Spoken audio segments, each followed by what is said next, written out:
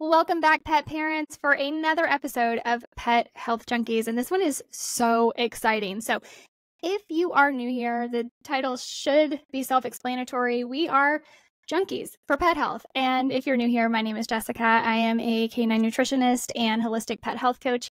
I have my two co hosts with me today Pam Roussel, who owns Perfectly Holistic, and that's P U R R R, like a purr, like a cat purr, because she specializes in energetics for cats.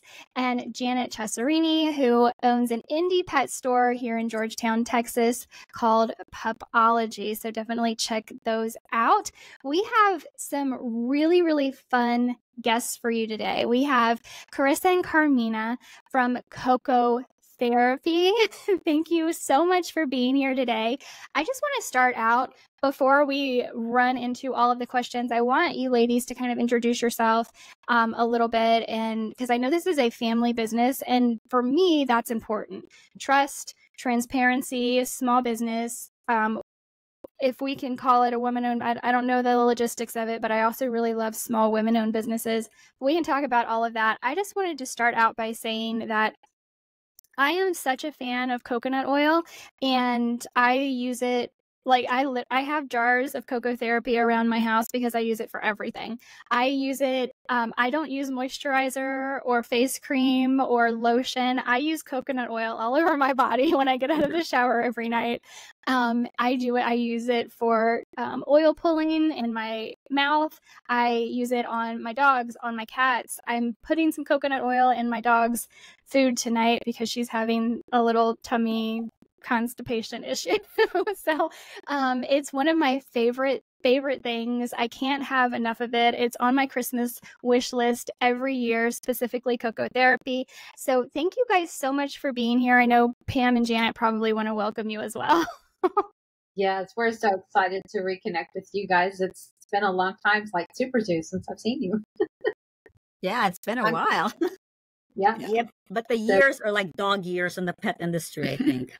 Correct. yeah, like one year is equivalent to seven. So that's true. Yeah. I'm, I'm excited to get to talk to you guys and not have to wait for Super Zoo. And and and our listeners, they don't know what a treat that they are in for um, getting to listen to your expertise because there's a lot of information on, you know, the interwebs and not well, you know, there's always two sides to a story and not everybody agrees. And so I'm hoping that today we can, you know, really get your expert um, in opinion and input and clear up some questions that I bet our listeners have. We're happy to be here. Thanks for having us.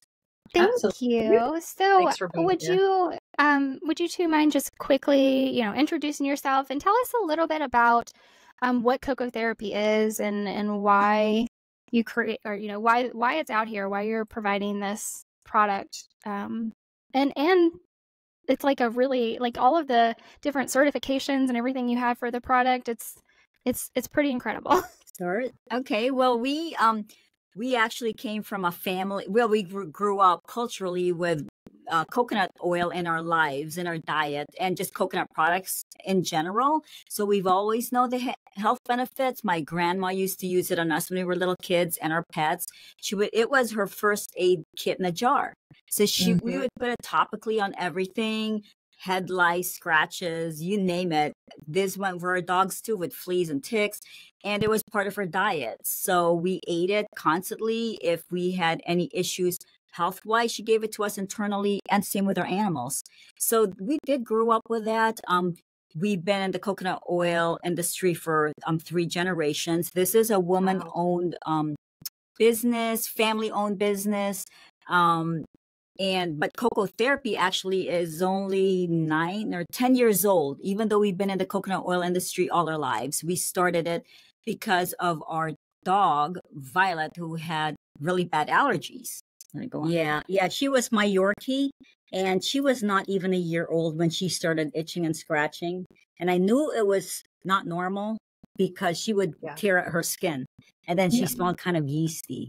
So we went. I took her to a veterinarian and a, a conventional vet, and they gave her prednisone of course, and that tempered every, all her immune system down. So that helped her. But unfortunately, every time we tried to wean her off the pred, the itchy and scratching would come back.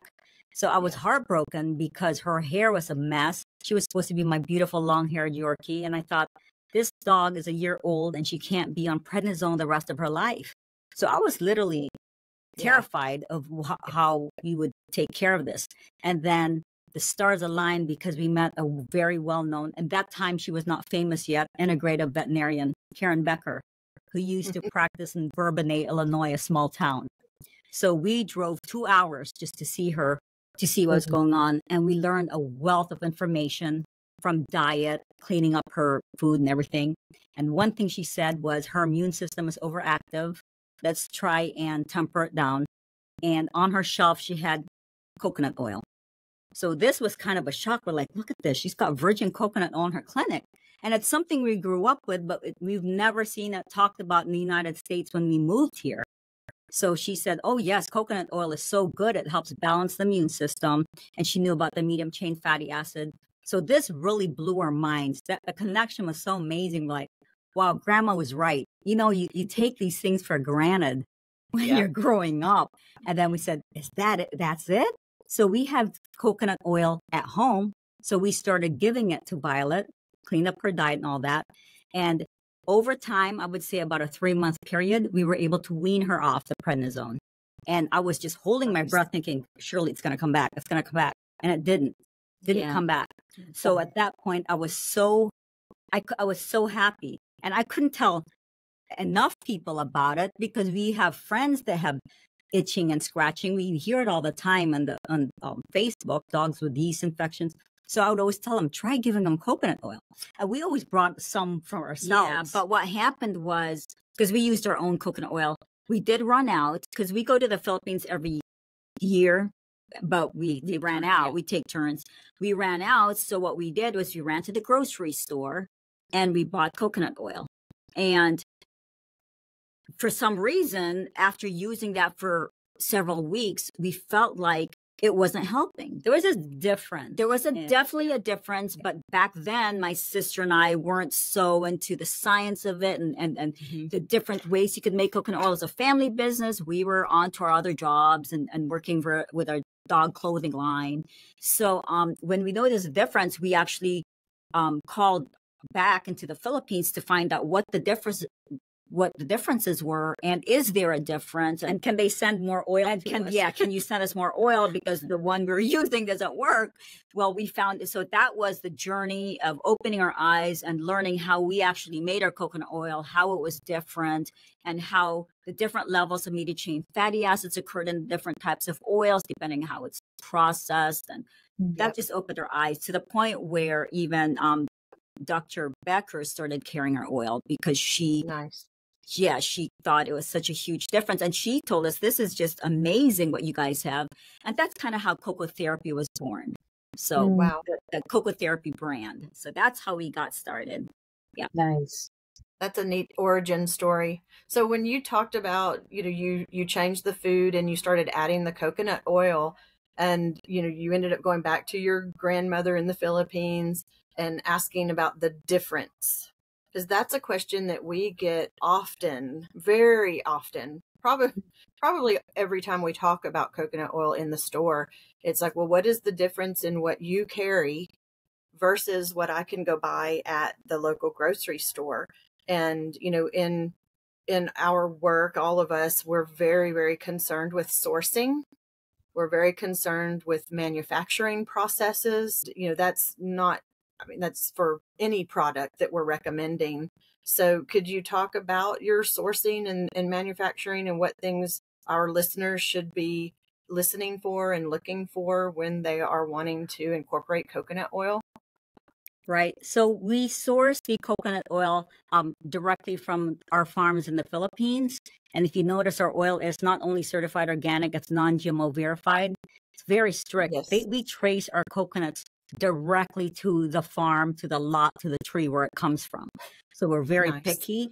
Um, so our, our coconuts are grown in volcanic regions, not like sandy beaches. So soil makes a huge difference. Mm-hmm. Temperature mm-hmm. makes a huge difference. I think people know this in terms like for apples, for example. Apples grown in Washington state are very different from other places. So yes. and it also depends on how long they've been in the tree, when they're picked, if it's is it ripe, is it picked too early? So it makes that difference. So for our coconuts, we pick their tree ripened for a year. So they're not wow. picked before then. And once mm-hmm. they are picked, we open and process them with uh, less than 24 hours when you do that. Whereas other farms, to save money, they can scrape the coconut inside and they dry it. They actually dry it. And when they're ready mm-hmm. to make oil, they reconstitute it with water. Mm-hmm. And then that's so yours has press. moisture in it naturally. Is that what you're saying? Yes. Just it's, well, it, it's, it's, called wet milled. So what happens is you milled. grate the coconut, right? So you have coconut that's wet. Mm-hmm. We don't dehydrate it at all because we don't want to rehydrate it with water because that kind of dilutes the coconut. Um, mm. So wet milled, so the coconut is wet when we actually press it. So when you press it, when you press a coconut, what comes out is milk, milk. coconut milk. Oh not the water. When you open a coconut oh. and you oh. pour that liquid out, that's coconut water. So you just drink that up. You, yeah, you can drink that. But the coconut milk, you can drink that too. But um, you press, press that, and then what happens is a lot of people will um, boil it to re- to separate separate the oil from the milk. But mm-hmm. that means it's heated. So we yeah. don't do that. So so we let it naturally separate in a cold room and then we get the oil and you off, skim it off and then you top. skim it off the top. That's that's how we process it. That's why the oil that we make is uh, i mean you don't get as much as as you would if you boiled it. Then the difference too is they expeller press their dried coconut meat. Their coconut meat that's dried and rehydrated they use expeller pressing so that generates heat as well about 250 degrees. So that's so additional. Technically, it's not really cold. It's not cold pressed technically, but so that's why we see cold pressed on your bottles. It right, yes, it is. It yeah. is, and so that's a difference. But unfortunately, um, the term cold pressed isn't regulated by the USDA here in the U.S. or any place. So anyone can really put cold press on the label, but that is mm-hmm. very deceiving. Um, mm-hmm. another uh, term that's not regulated is virgin, the term virgin. So mm-hmm. our coconut oil is virgin, meaning it's unrefined. That's the mm-hmm. definition of virgin coconut oil. That means we don't use bleach or hexanes or any chemicals to or solvents. Sol- solvents to remove the oil, which is a, a lot of companies do. They're mm-hmm. partially refined because you get more oil that way. But right. what people don't know is for partially refined oils, you can still put the term virgin on the bottle because that's not regulated either. And in fact, some companies go even further and put extra virgin on their coconut yes. oil, which means absolutely nothing. And the coconut the, the, the, term extra virgin in the olive oil industry means something. That means yeah. first press because you can press olives multiple times. So the mm. first press means virgin in olive oil, but in coconuts it means nothing. So that's again another mar- marketing ploy when they say extra. Virgin. Yeah, which is really really deceiving. So all mm. those mm-hmm. differences in manufacturing and the the way we um, harvest it and and the way it's not um, dry that makes a huge difference in the in the levels of um, fatty acids that you get in coconut oil. So basically, there's really three types of coconut oil. There's um, cosmetic grade coconut oil, which is highly refined. So a lot of this they use um, refined oil. They use it in shampoos and conditioners, lotion, lotion yeah, and soap. Then you have um, what we consider a food grade coconut oil, which um, can be partially refined. It doesn't have to be 100% refined, but it is partially refined. It, they don't. They're not concerned about the levels of lauric, caprylic, and capric acid. So these are the oils that you can use to cook with a lot of this cooking oil sometimes barely has any smell of coconut. So the levels mm-hmm. of lauric acid, the fat medium chain fatty acids are a lot lower in the cooking grade oils that you would find in a grocery, a grocery store. store. That's probably what your um, customers are asking about. Now, yep. um, for our oil, the way we make it, um, it's the way it's made. It has higher levels of lauric acid, caprylic, and capric acid, which is the medium chain acids that we want, and that's why it's so highly effective. In fact, um, in our bottles, I wish we had one here. On the front, in the front label, it says high lauric acid on it, and um, you can't necessarily put that on a label with the FDA unless you, you test you test for it and it's written on the label the percentages of the lauric caprylic and capric acid. So you could actually pick up our bottle of coconut oil and point those those things in the label out and tell them to go to the grocery store and look for the levels of fatty acids which they won't find because mm. they don't need to they don't need to test for it. So um, that is such good information. Yeah. Mm-hmm. yeah. Thank you. Yeah. Thank you. That's awesome. And it's these fatty acids that are so beneficial. Yeah. Because right is that so I, I was not too long ago talking to someone about saturated fats and how, you know, here in the US around the 70s we like really the government started demonizing the saturated fats and the food industry started de- and and just as like one one side effect of that has been just since then we've seen such a huge increase in alzheimer's specifically and cognitive disorders in humans when we have reduced significantly the saturated fats that we have in our diets. And so uh, that also affects our pets, obviously. But um, I think that's kind of a good starting point to, to talk about the benefits of these these fatty acids in the coconut oil, both internally and, and externally. yeah.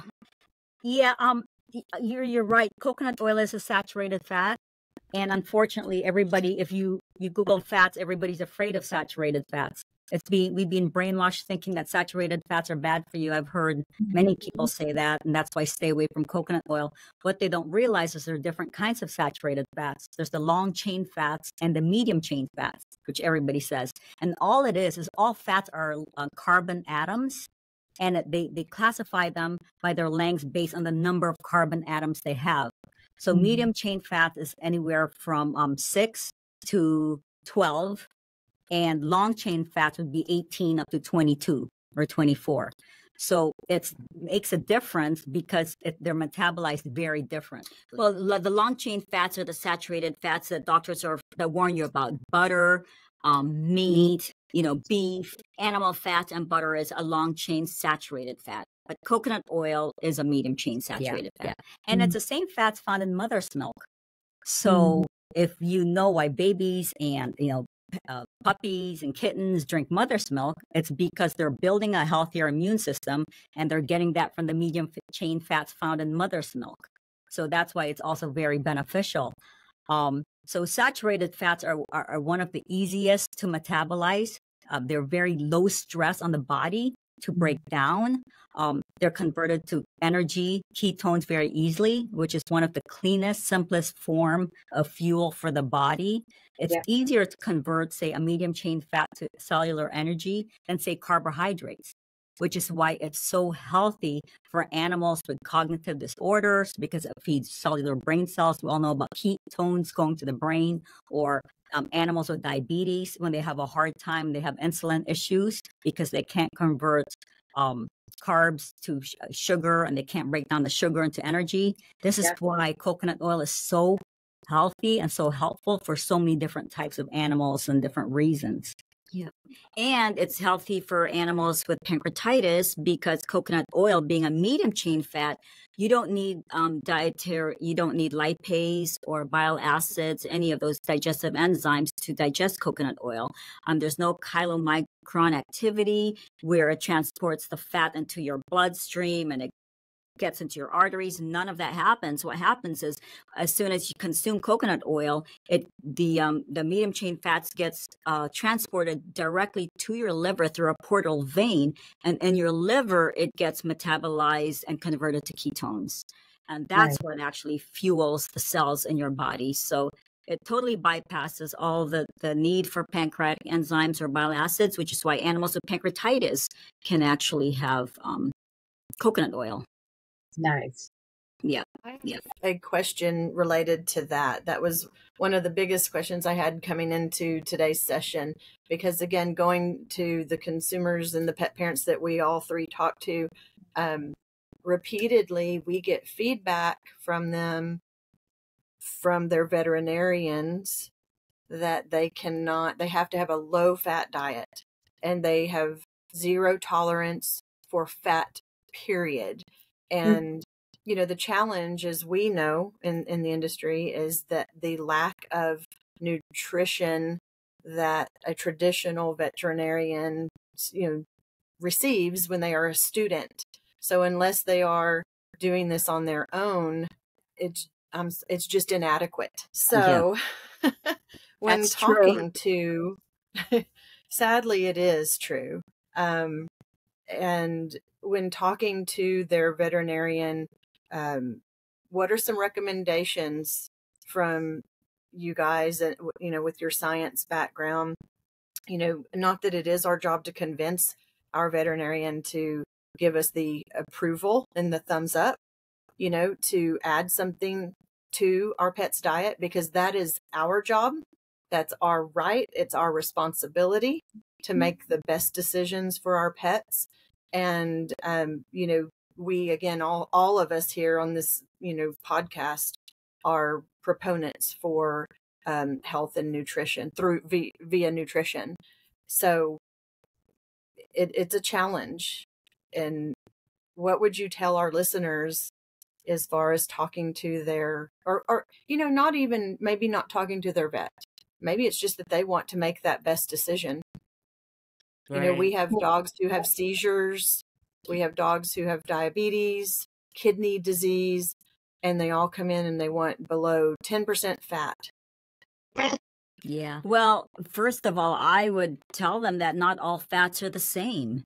And number one number two um a lot of veterinarians don't know what coconut oil is. You know what's really interesting is I was in a conventional veterinarian's office one time and he pulled out the Merck medical veterinary manual to yes. show me something because he was a very good vet in the sense that he would educate me and show me drawings, etc. Right.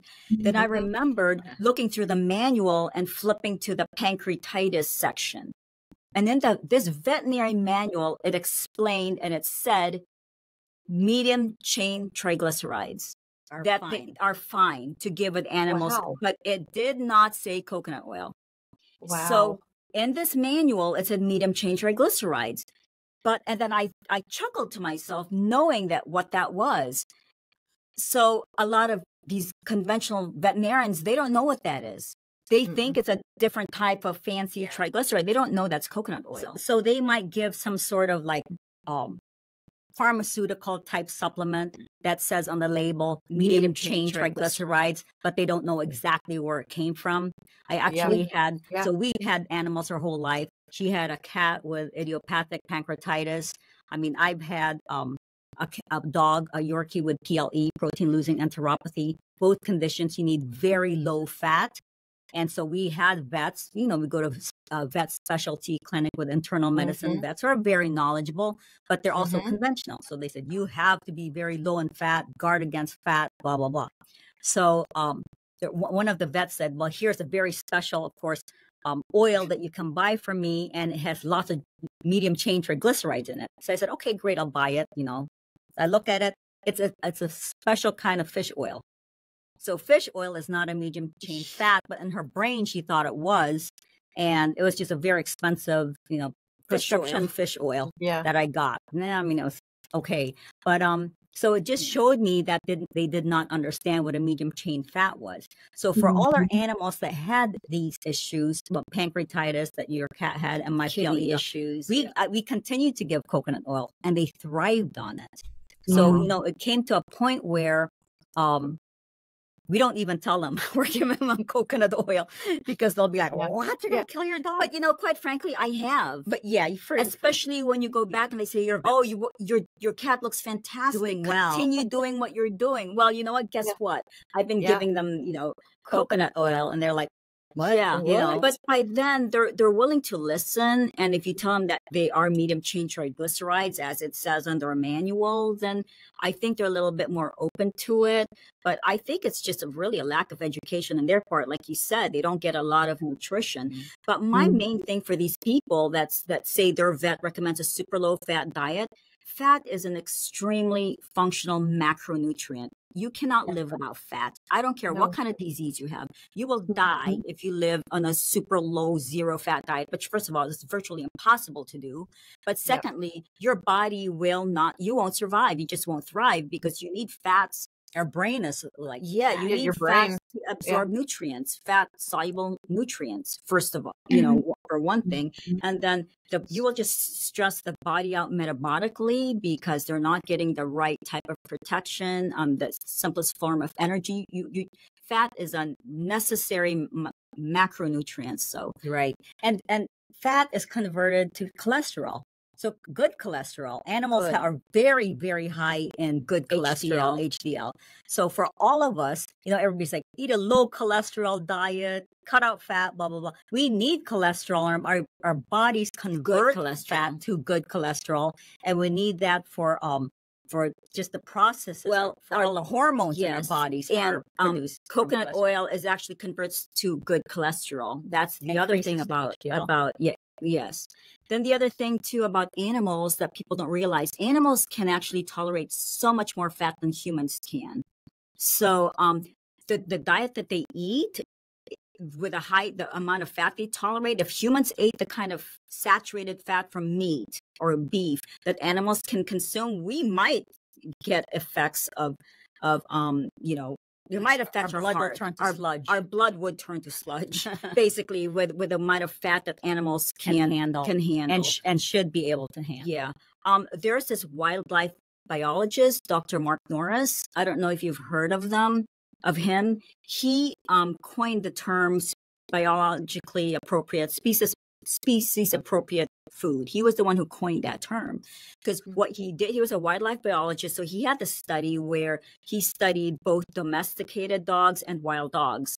Um, he had um, left um, food, fat, foods that were fat, carbs and protein and let the animals mm-hmm. forage on their own and just to see what they would eat and he noticed both in the domesticated and the wild dogs they would first gorge on fat that was wow. the first thing they did. They gorged on fat. And then after getting their fill of their fat, then they would gorge on meat, protein second, and then carbs last. So that feeds their brain and just feeds their system. And he was, that's the way fats are supposedly, I mean, animals are supposed to eat. So mm-hmm. that's the other thing I would tell the customer. So this fear of fat is really, I think it's yeah. Have to give the right fats, of course. Don't go frying bacon and you know. Yeah. Well, that's the other turkey. thing too. Cooked fats is highly a oxidized. No, yeah, and oxidized. Yeah. Oxidized fats are are toxic, so we don't recommend giving cooked fat. Yeah, and I think it's also important to to know like so we can we're we're only getting calories from three places: protein, fat, and carbs. Mm-hmm. Right? And so if we're telling people that they have to remove fat or as much fat as possible from the diet, we're looking at I mean, fat is is close to a 2 to 1 ratio of calories to protein. So it takes a lot more protein mm-hmm. to make up the caloric difference. So a lot of these diets are relying really heavily on cheap carbohydrate fillers. Mm-hmm.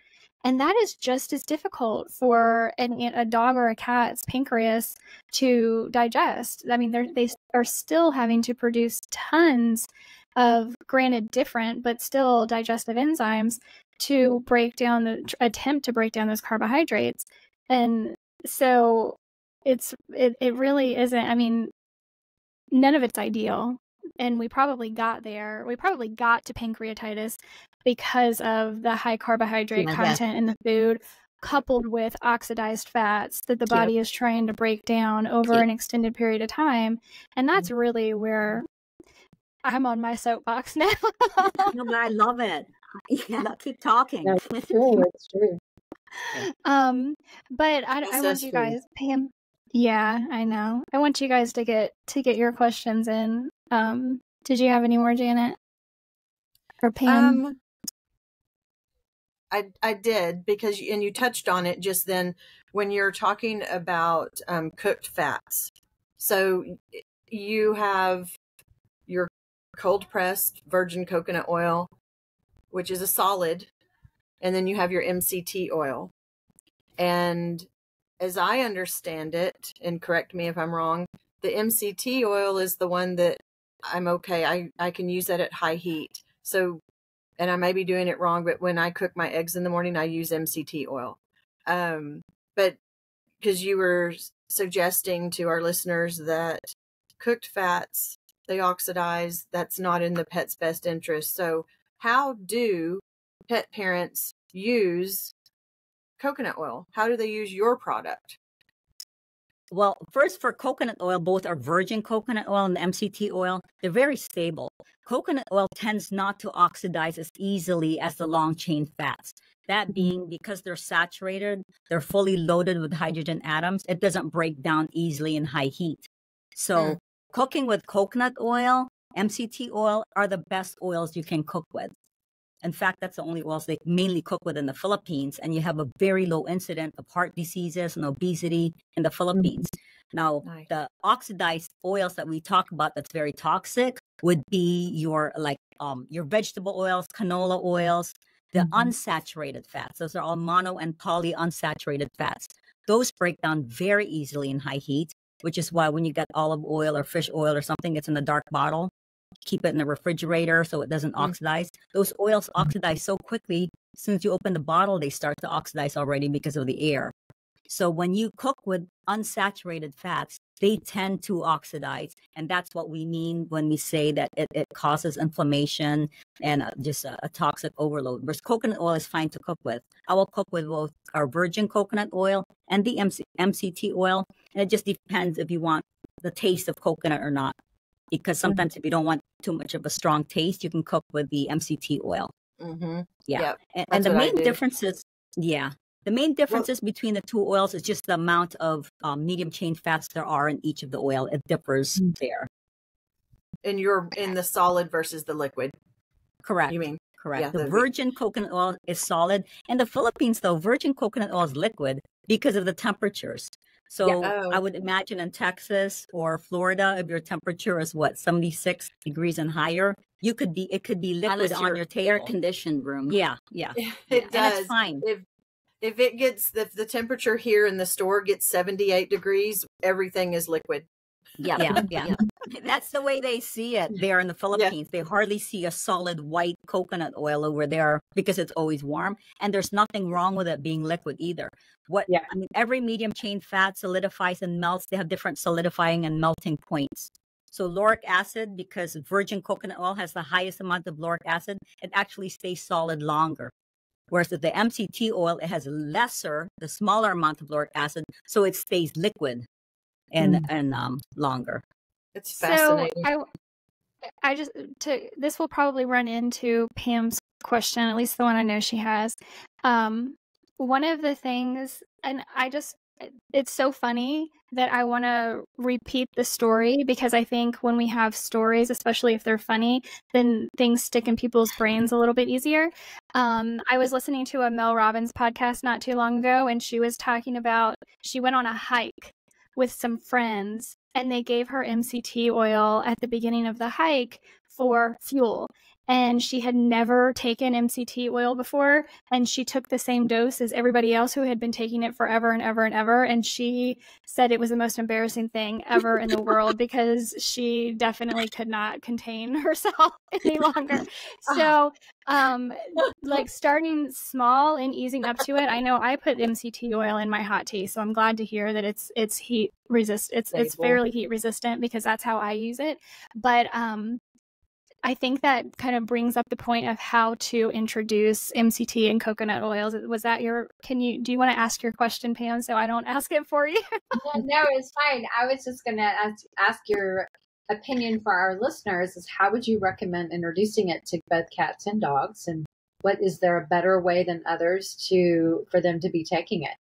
What's your opinion? Well, definitely start slow.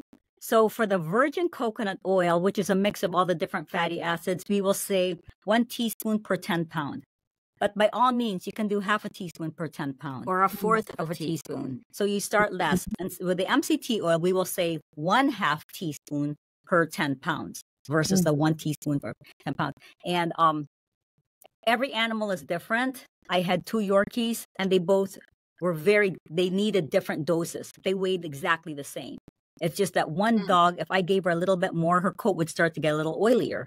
Whereas the mm. other one looked gorgeous the more oil I gave her. So very yeah. shiny. So every dog is just different though for some yes. reason the way they do that. So we say start small, it's not a drug, it's a food, and then give it to maximum oral tolerance. So when you see that they're starting to look great, they don't smell so corn chippy and weird, you know, whatever, and their coats are shiny, stop there. You don't have to keep going to the one teaspoon if your dog's doing great at, at half, half a teaspoon. Yeah. So right, that's it's just advice. the way it is for everybody. That's I have a story about Eli, who is my Chiweenie, and he has a very short double coat, and um, he's the apple of his daddy's eye, and he gets flaky on his little bum. And the first time that happened, I thought, okay, well, what causes flaky skin? And I examined what we were feeding at the time. And at the time, we were partial kibble feeders. We did um, partial gently cooked um, with uh, with uh, kibble, dry food. And I knew about coconut oil from you ladies at Super Zoo.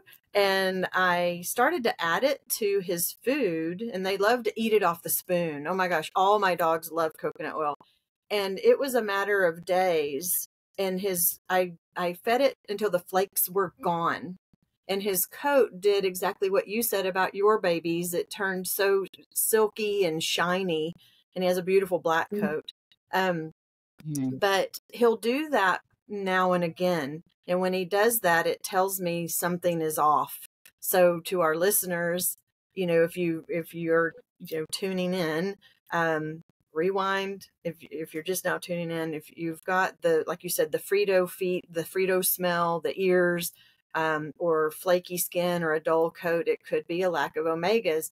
And the last thing i want to mention is when we feed a kibble diet i have learned this through you know just having the store and, and learning from the dr beckers of the world the dr morgans of the world. Um, kibble at high heat you know you void the much of the omegas that is in the initial recipe. So it may have sufficient omegas going in, but once we apply heat, we degrade nutrients, as we all know. Um, mm-hmm.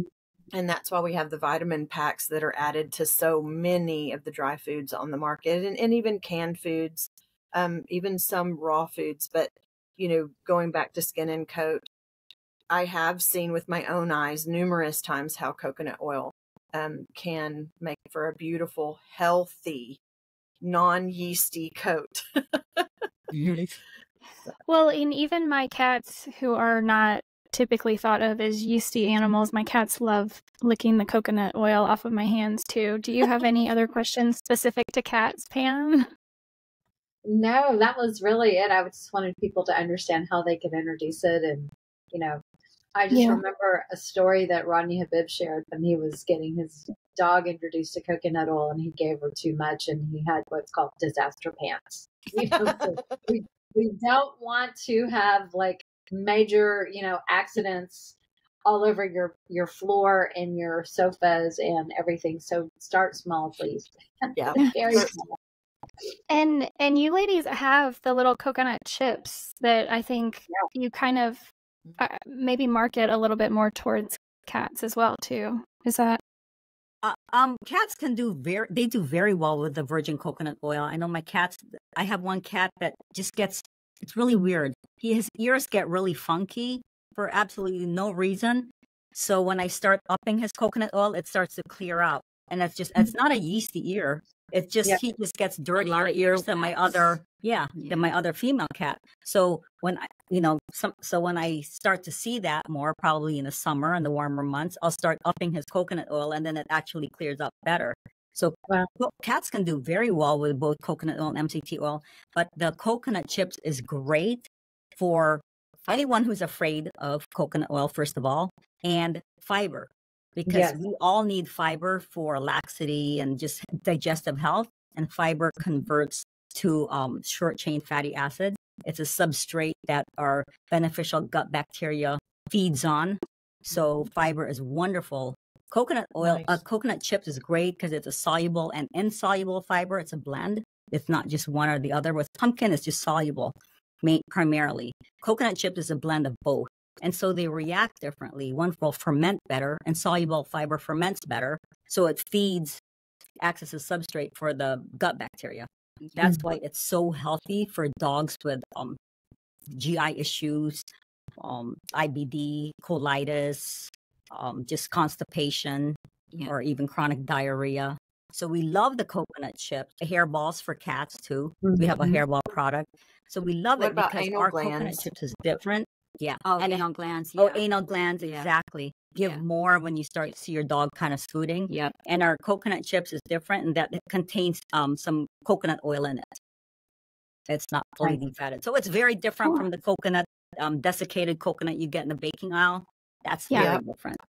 Yeah. Okay. And no sugar. I, and I know, yeah, and I know you have some collaborations as well. Um, you have a collaboration for some CBD treats with CBD Dog Health um, that are out there, and I know you've made some cocoa um, toys for the two crazy cat ladies. So there's there's a lot going on that you guys um, have in your big product line and, and everything you're doing. Can you um, is there anything else, any like parting words that you would like to tell our listeners about coconut oil specifically, or anything you guys have going on, and then where people can find you? Okay, well, for our, our parting words is I think people who are afraid of it or have heard negative things about it, and there's a lot of misinformation and um, misconceptions about coconut oil. I I just tell them to do the research and, and and find out where the studies are coming from. On our website, there is actually um, you can download a study and a book that has um, all the scientific studies by categorized by category. So for Yeah. brain health, for heart health, for digestive health, um, and these are studies. So we don't insert any of our words in it. These are studies they can actually read themselves. We do summarize the studies in case they just want to Yeah, summarize. it's a 60 page book. Yeah. And it's a And- free download. Yeah. They can Wow. download that. They can learn about it. And the other thing I tell them too is coconut oil has been around for years, years, Hundreds. thousands of years. Yes. So for people to be afraid that it's going to cause leaky gut or cause inflammation or, or everybody's going to die of a heart attack, I mean, there Yeah. are populations in the world that have given it to themselves and their animals for years. So um, Mhm. it was just, just a little bit of common sense and a lot of science reading it. I, I, I think they, it, Yeah, it- do your research. yeah, and it, it the way the benefits of coconut oil is just so incredible that it could really I feel like it's such a necessity to have in your home for yourself and your animal. And it's so versatile too. It, it can be applied topically or taken internally. So it's Mhm. just like my grandma said, first aid kit in a jar. we used to think she was nuts, but and and you don't have to be sick or have a, some condition to take coconut oil. I will take it every day before I go to the gym. I take a tablespoon of our MCT oil. We're very used to fat, so I can take a lot. Plus, just remember MCT oil. They're made very differently too. There's MCT oils out there. If you notice, has no smell, no taste. Most MCT oils out there, and they don't have lauric acid. If that's the case, they're highly refined. And I see that because they take the smell and the taste out. So highly Mm. refined MCT oils are very difficult to digest because they do use certain solvents to break it down. Our MCT oil has a slight smell and taste of coconut. So I can take a lot of it. And we get a lot of people who actually take a lot of our MCT oil. Of course, build up to it like anything Mhm. else. But um it's so yeah, don't be afraid of it and use it when you're healthy. Don't wait to become sick to start Mm. using coconut oil. That's what I tell people because they'll say, "Well, my dog doesn't have pancreatitis, so I don't have to give it coconut oil." Well, don't wait till for it to get pancreatitis to give it Yeah. coconut oil. You know what I mean? Because it's like it's, Yeah. it's one of the healthiest, most nourishing fats you can Mm. give that actually takes care of your immune system. It takes care of your cellular health. It takes care of your brain. Um, so that's what I always tell people. And y'all's is human grade, so you can Oh yes, in, Yeah. ingest it, eat it, use it topically, just along with your pets. yes, Mhm. exactly. You can share it with your animals. yeah, Yeah, exactly. Yeah. That's Love it. fabulous. Those are those are my favorite products, the ones that I can use and my cats and my dogs can all use. Those are my favorites. and you can eat our treats too. All our treats are vegan. grade. Vegan The vegan treats are human grade. You can eat them and share them with your dogs too. All our treats are certified organic, made with coconut oil. Will not use any types of fats, other fats in it. So yeah, Awesome. And it's cocotherapy.com. And is it just Coco Therapy on all the socials as well? yes. Perfect. That that book, I'm gonna put I'm gonna make sure to put all the links in the show notes. Um, because that that ebook will be, I think, very beneficial for a lot of people. Even if you just read the the summaries, very, very beneficial. And yeah, I'm so thrilled to have you here today. And I can't wait to see you guys at Super Zoo. Yay! Yeah. Yay! Okay, now we've got three reasons to be excited to go to Super Zoo. You three. Absolutely. Yes, thank you very, very much. I hope you guys have a fabulous rest of your week. Thank you guys for listening. Um, and please do go check out Coco Therapy. It is my favorite coconut oil, the only one I have listed on my website, the only one I recommend. And um, very, there's so many wonderful uses of it. I know I have a lot of blogs um, on my site about using it as well. But please check out cocotherapy.com because they have like they're the hub of information for coconut oil. So Yeah. until next time, please give your pets some extra love from all of us, and we'll talk to you soon. Love you guys. Love Thank you you. Bye.